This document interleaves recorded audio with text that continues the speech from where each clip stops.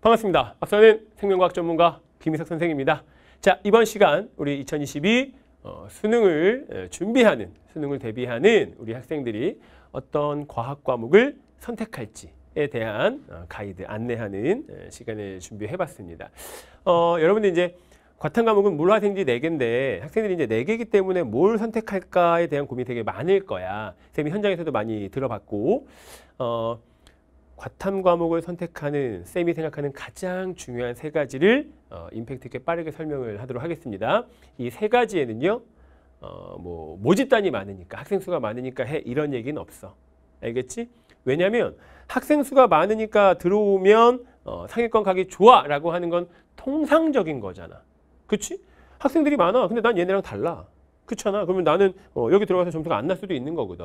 그러니까 그런 일반적인 얘기는 제외하고 쌤이 생각하는 가장 중요한 어, 첫 번째 이야기부터 시작을 하겠습니다. 학생들이 이제 질문하거든. 어, 12월 달에 이제 겨울방학 특강을 개강하고 나면 한 1월 중순 1월 말 되면 학생이 나한테 와서 이런 얘기를 한다고. 선생님 생명과학은 우선 이렇게 딱 기본적으로 세팅이 됐는데 나머지 한 과목 과탐 두 개 하는 경우에 어, 나머지 한 과목은 뭐 할까요? 물리할까요? 화학할까요? 아니면 뭐 물리할까요? 지구학할까요? 화학할까요? 지구 이런 식으로 질문한단 말이야. 그때 쌤이 물어봐. 너는 어떤 게 성적이 좀 더 잘 나와? 이렇게 질문을 한다고. 어? 첫 번째 얘기는 재능입니다. 여러분들이 어, 수능은 여러분 점수 갖고 가는 거야. 그지요? 어, 결론 좀 그렇긴 하지만 딱 결론 마지막 빡 점수 얼마 요걸로 그냥 가는 거기 때문에 뭐 좋아하고 뭐하고 다 떠나서 점수 잘 나오는 게 장땡이지. 그렇지? 점수 잘 나오는 걸 먼저 선택하는 거야. 그런데 점수가 또 이제 비슷비슷할 때 고민을 하게 될 거 아닙니까? 그지요? 그러면 주변에 다른 이야기들 다 필요 없어. 주변에서 얘기하는 건 그 사람, 조언하는 사람의 입장에서 지금 쌤도 마찬가지야. 조언하는 사람의 입장에서 겪은 내용을 얘기해 주는 건데 이 세상에 조건이 똑같은 사람이 단 한 명도 없거든.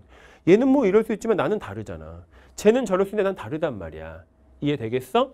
해서 어, 재능을 따져봤는데 점수가 비슷비슷해. 그러면 주변에 조언 다 필요 없고 여러분이 정말 좋아하는 게 뭔지를 곰곰이 생각해 보셔야 됩니다. 조언 들으러 어, 쌤이 지금 하는 영상도 내가 빠르게 임팩트 있게 할 건데 막 여기저기 다니면서 시간을 엄청 써. 남의 얘기 듣느냐고.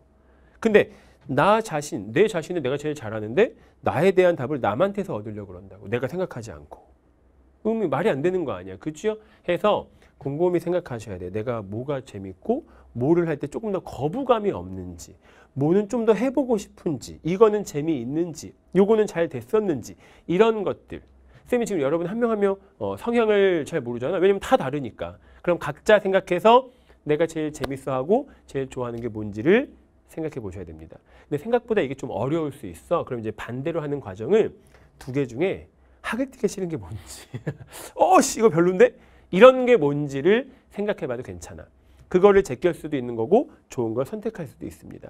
어찌됐건 그 행위의 가장 중요한 포인트는 여러분 자신이야. 나, 내가 좋아하는 게 어떤 거냐. 내가 싫어하는 게 어떤 거냐. 이해됐지? 그러면 이렇게 딱 선택을 하고 나서 한번 생각한 거야.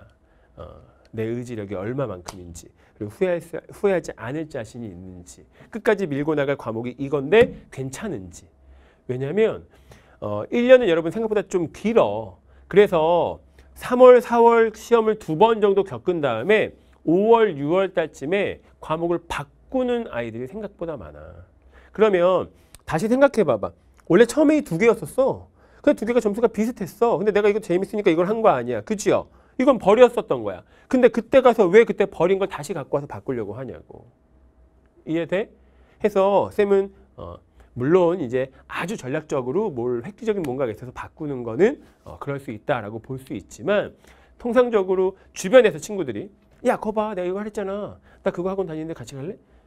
그럴까? 이런 이렇게 바뀌는 그런 말도 안 되는 걸 하지 말고 어, 의지가 있는지 그리고 끝까지 한번 밀고 나가야 되겠구나 라고 하는 걸로 선택을 했으면 음, 수능 때까지 가는 걸 추천합니다 이해돼? 어, 해서 쌤이 얘기하는 건 어, 질문 세 가지야 저 이거 이거 고민이에요. 어, 점수 잘 나오는 게 뭐야? 네가 좋아하는 게 뭐야? 끝까지 밀고 나갈 수 있겠어? 어, 이거에 대한 답은 여러분만이 할 수 있습니다. 쌤은 여기까지 이야기를 하고요. 어, 강의에서 다시 만나도록 하겠습니다. 수고하셨습니다. 잠깐만 어, 어, 쌤이 다음 캐스트에서는 2022 수능 생명과학 원을 에, 준비하는 친구들을 위해서 생명과학 과목의 특성에 대한 어, 이야기를 준비했습니다.